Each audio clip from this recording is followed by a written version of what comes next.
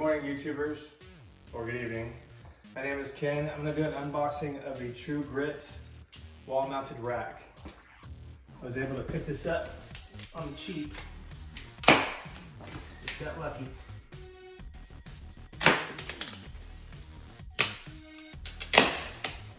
All right, seems fairly well packaged. Did you start recording? Yes. Okay.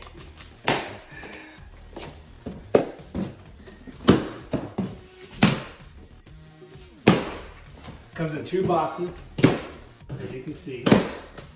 Fairly obvious. As my wife would like to say, yes, Captain Obvious.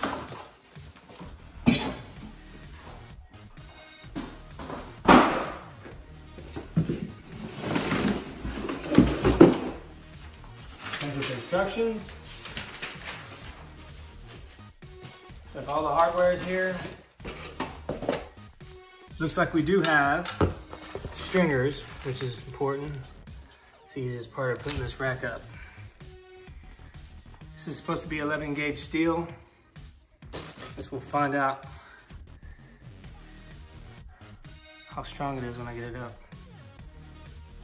The instructions aren't great, but they work. This is the wall I'm putting it on. Trying to mark the studs. Looks like we have two boxes of hardware here. Looks like we got parts for anchoring it into the concrete and then the standard wall stud screws. So far so good on the packaging. Everything's wrapped either in bubble wrap or styrofoam wrap. These J hooks are no joke. Heavy duty steel. It's wrapped in plastic. Yeah, I know it doesn't compare to an iPhone unboxing, but pretty nice. Some minor blemishes, but I can live with that. I mean, they've got everything wrapped up really well. This one was taped and wrapped pretty good. Just to clarify, this is 11 gauge steel and this is a three by three. Man, those J hooks are pretty beefy. I mean, they really wrap these up pretty good. Minor blemishes, not a big deal.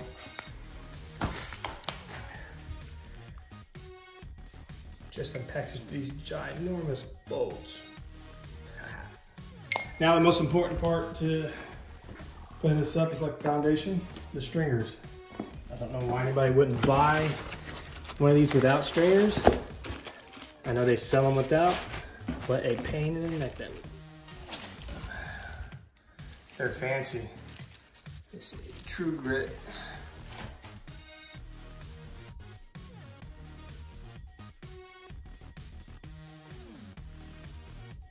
So they don't give specifics on height mounting and whatnot. As you can see, it's pretty bland list of parts and where to connect, but not how to connect them. So I'll be going to their website looking for support. All right, so I had to go to Home Depot and get a 15th, 16th socket. And then of course the socket bit, um, bolts are bigger than any of the tools I've had in the past. Um, recommendations, when you get the drill bits, get some high end ones.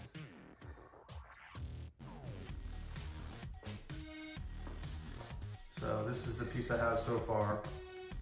Complete. Also, the bottom edge is measuring about, is that a 10 and a quarter? Not even a quarter.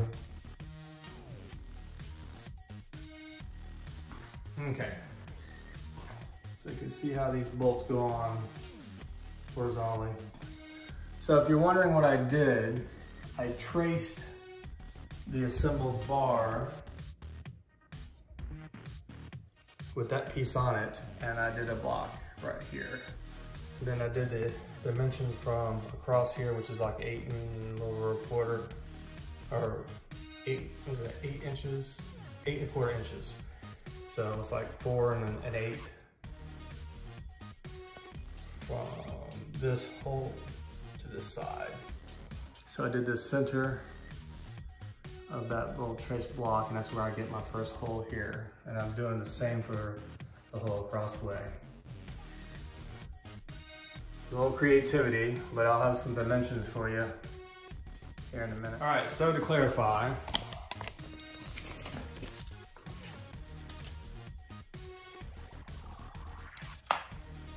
this is where we're sitting at, about 10 and a half inches.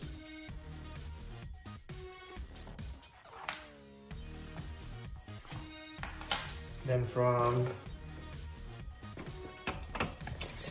this one to this one,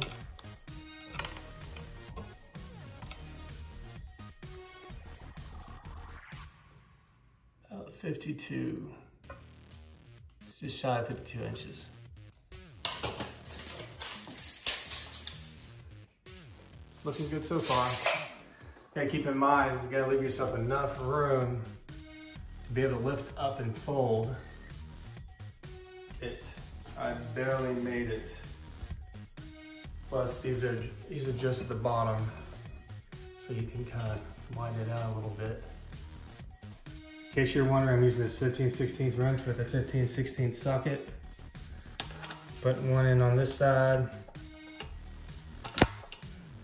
and then goes quick well, not too shabby.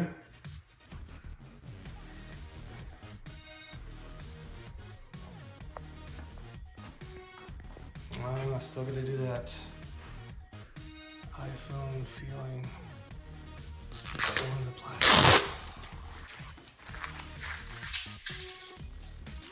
All right, to note, they give you these 16 of these, uh, call them lag bolts. Anyway, these are all in the studs.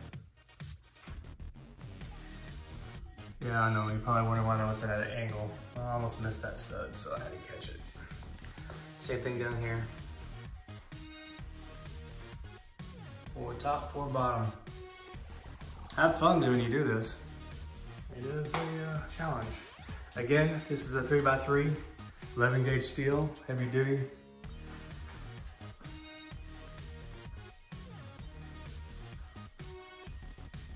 Yeah, I don't pretend to know what's going on here. So this one has two ball bearings in this pin. That one has one. This one has one.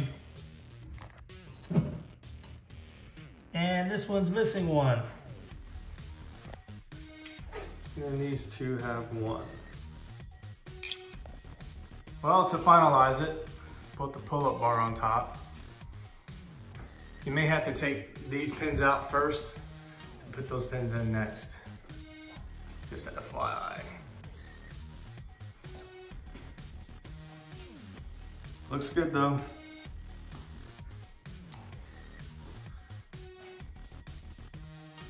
Hope this helps.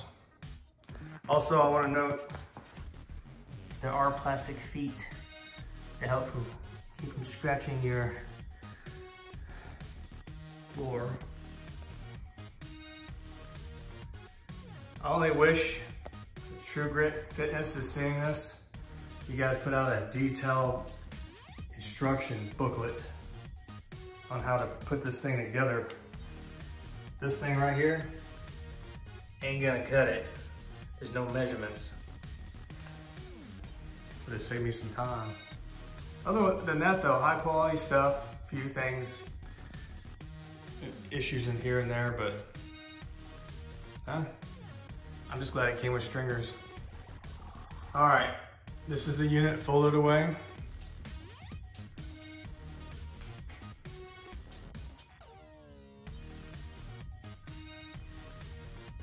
Seems to work.